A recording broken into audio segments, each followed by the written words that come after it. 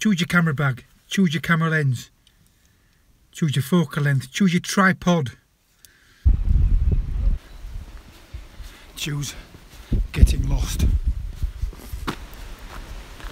Choose the right path. Choose growth. Choose to regret. Going to the pub. Keep on running. Choose seeing the light over your shoulder. Choose thinking, I can make it. Choose finally finding the gate. Choose running through sheep shit because you can make it.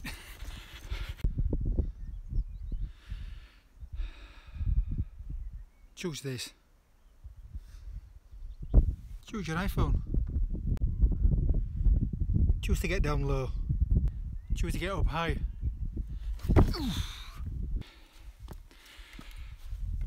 Choose wondering why I do this. Choose arriving home. Thankfully. Morning. It's darker than it looks, as always. Uh, oh, I feel like a bag of bones this morning. Got up, well I woke up about quarter to three. Couldn't get back to sleep again. Just laid there, uh, looking at the camp, at my uh, tent. Some nice colour. Um, laid there, uh, got up about quarter past three and headed off down. Tried to be as quiet as I could leaving the campsite. Audio's probably a bit naff because I forgot to put the uh, external mic on. Uh, oh, shattered after yesterday. Um, overshot, walked an extra three miles there and three miles back. Um, thought I was going to arrive in Whitby. Anyway, nice cloud forming. Going to head towards the beach and the rock formations that I saw on Google Maps and see what we can get. Anyway, for now, see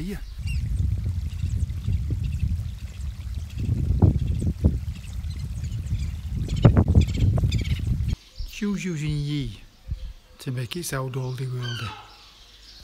Choose the steps on the road. Steps. 20 past 5 in the morning and I could say I'm done for the day.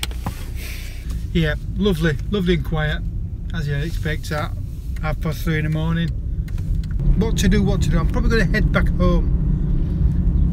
Move, move, edit my photographs and see where I've got. Clean my camera gear in readiness for a long weekend in Ireland. Well, next weekend. Anyway, I'll see you. Oh, stupid bird. Chose to go back to bed.